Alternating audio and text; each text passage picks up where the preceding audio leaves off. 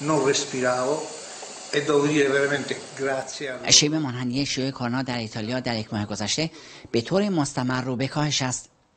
ایتالیا پس از یک دوره پر تلاطم که آمار روزانه مبتلایان به کرونا به بیش از سی هزار نفر و شمار قربانیان به حدود 800 نفر رسیده بود از چهار هفته گذشته وارد مرحله دور از التهاب شده که با باز شدن تدریجی کسب و کارها همراه است.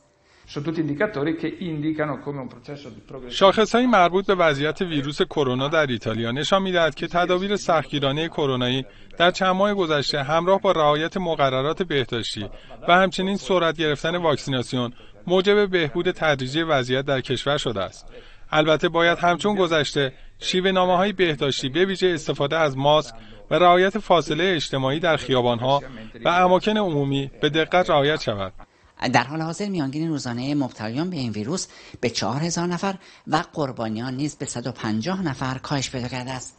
در همین حال از روز جمعه وزارت بهداشت ایتالیا اعلام کرد که همکنون مجموع مبتلایان به کرونا در این کشور به بیش از 4 میلیون و 200 هزار نفر رسیده و شمار کل قربانیان نیز در آستانه 127 هزار نفر